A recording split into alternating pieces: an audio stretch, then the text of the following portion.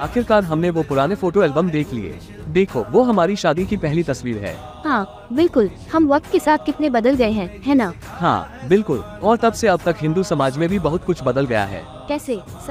याद है 1948 में डॉक्टर अंबेडकर ने हिंदू कोड बिल को पेश किया था। उसका उद्देश्य हिंदू समाज में सामाजिक बदलाव लाना था। सामाजिक बदलाव कैसे? जी ये बिल महिलाओं के अधिकारों को मज़बूत करने उन्हें उनके परिवार की संपत्ति में समानता देने और विवाह तलाक के नियमों में सुधार करने के लिए था। वाकई उस समय विवाह और तलाक के मामले बड़े तंत्रिका थे। हाँ और जैसे ही बिल पारित हुआ हिंदू समाज में बहुत सारे बदलाव आए।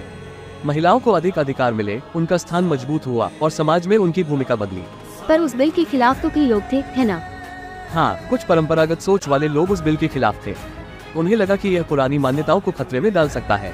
लेकिन आखिरकार बिल पारित हुआ और कुछ बदलाव तो हुआ है ना? हाँ बिल्कुल। महिलाओं को उनके अधिकार मिले दलितों को भी समानता मिली और हिंदू समाज में बदलाव आया।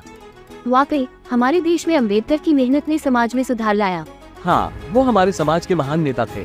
उनके प्रति हमें गर्व होना चाहिए। हाँ वो हमारे समाज के महान नेता थे। उनके प्रति हमें गर्व होना चाहिए।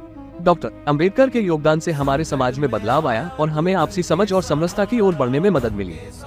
यदि आपको यह वीडियो पसंद आया तो लाइक करें कमेंट करें और हमारे चैनल को सब्सक्राइब ज़रूर करें।